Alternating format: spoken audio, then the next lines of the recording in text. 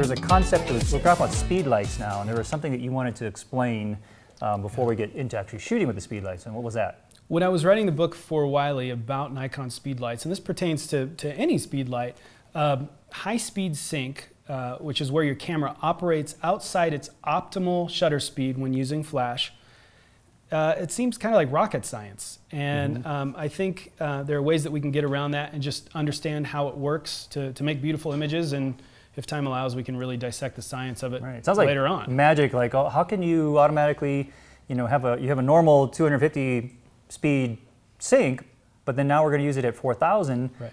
How does that work? Why don't we always use it at 4,000? Why does it have right. to be called a special thing? Like what's happening right. between 250 and 4,000? You know what I mean? Right. Well, I think let's talk about that. So uh, we're going to demonstrate how um, high-speed sync works. Okay. So Kevin has graciously done this for us, and so um, Kevin, we're going to actually have you expose. a little higher.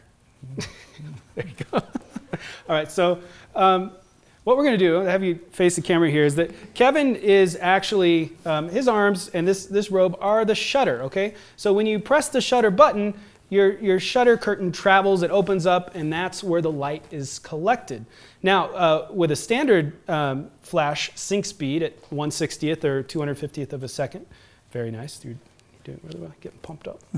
um, with a standard uh, speed, what you're going to do is that as, as it opens up, boom, whoops, we're, we're going to do that again. Here we go. As it opens up, we're going to get one big burst of light, okay? So that's your 250th of a second uh, or 160th. It's just going to be boom, and then by the time the curtain comes back, that flash will have exposed. If you operate outside of that without using high-speed sync, then what happens is as this is just about to close, you still have light emitting from that flash. So what high-speed sync does is instead of doing one big blast of light like this, it's going to go like this. Boom, boom, boom, boom, boom, boom, boom, boom, boom, boom, boom, boom, boom. Now, of course, the shutter is firing much, much faster than that. but that's in a well, sense at very slow. slow. no, it's, it's good in a sense, that's what it's doing.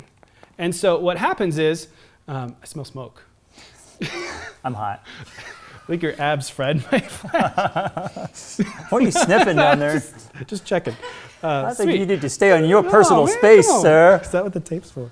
Okay, so um, so obviously, as you know, without high-speed sync, you're getting that big burst of light. All the available power from the flash, boom, is there. Um, when you're using high-speed sync, it's doing little bits of light to be able to, to get enough light through that curtain, okay? So you're not going to have access to as much light, but you're still going to be able to use a shutter speed outside of so 160th. It enables you to get the shot, but right. you're not getting the full power out of your flash exactly. that you would at 250th or something, right? Right, right.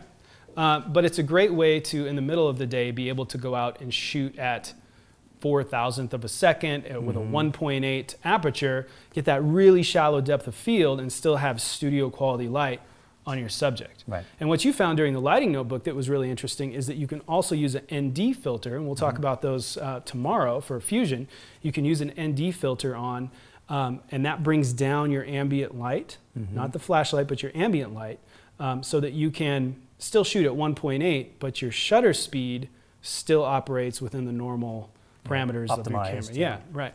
Um, and you actually gain like a stop of light. Could be two stops sometimes. Okay. Yeah. All right. So it just depends.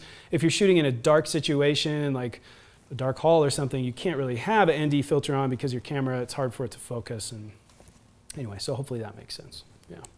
So we're going to utilize a high-speed sync in here today because I want to kill the ambient light that's, uh, that's flooding the space right now. I want to make sure that doesn't add to our exposure.